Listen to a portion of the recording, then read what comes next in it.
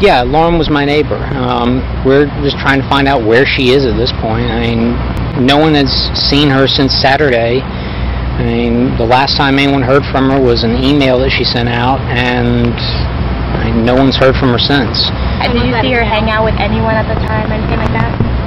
I mean, no, no, no one has seen her since Saturday. I haven't seen anything. I mean, you always hear noise outside, but it's just people walking by, pretty much. And you, uh, she just recently graduated from Mercer. Yeah, she and I were we were both JD students. Um, we graduated back in May. What kind of person was she? I mean, how did you, what did you see? I mean, she's as nice as can be. I mean, very personable, very much a people person. Do you know anybody that, any enemies she might have had, somebody that might want to hurt her? No, I mean, we're we don't know where she is. I mean, the only thing we can think is that maybe she went out running and someone snatched her.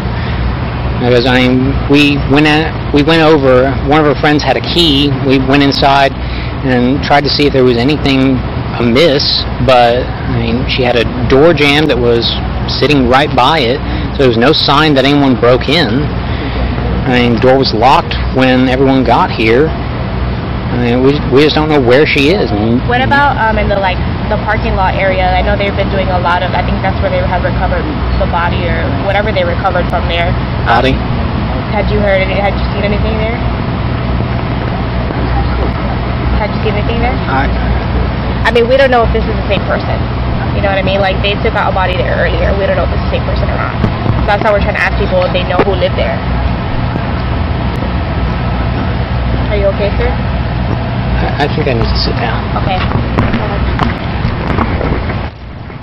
Okay, that's the uh, first clip of uh, video Ashok